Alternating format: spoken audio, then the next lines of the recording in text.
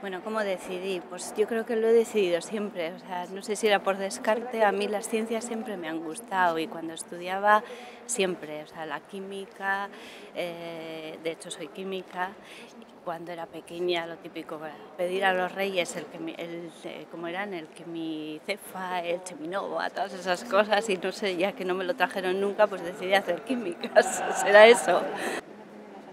Bueno, yo diría que todos son satisfacciones. Yo no he estado vinculada directamente siempre a lo que es la, investigación. Yo salí de la universidad, hice la tesina, luego ya salí de la universidad igual he estado más vinculada eh, a trabajos más relacionados en gestión, pero siempre eh, con asociación a la investigación y al desarrollo eh, salvo una etapa en educación, pero también enseñando ciencias, o sea, yo diría que siempre, entonces es satisfactorio siempre.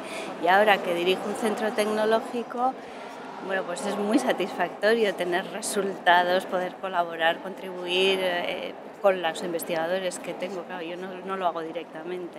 Bueno, siempre hay sinsabores, pero los sinsabores yo creo que no son cosas que, que uno se tenga. Bueno, el sinsabor igual mayor eh, a nivel de no haber ejercido como investigadora como igual en aquellos momentos de cuando yo pensaba que tenía que hacer, pues hubiera pensado que era mi, mi futuro pero no es un sinsabor, será un, no sé, un, algo que no he hecho. Vamos a verlo así. ¿Qué les diría? Bueno, yo les diría que como toda la vida es vocacional. Quiero decir que yo creo que las ciencias y la tecnología tienen que creer en ello. Eh, no tienen que ir a estudiar por modas, eh, pero sí creer en ello, ver que eh, con lo que ellos, ellas, ellas vayan a aprender tiene un montón de aplicaciones, de soluciones, de contribución en la vida. yo creo que la vida es ciencia, la vida es tecnología y eso es lo fundamental que les diría.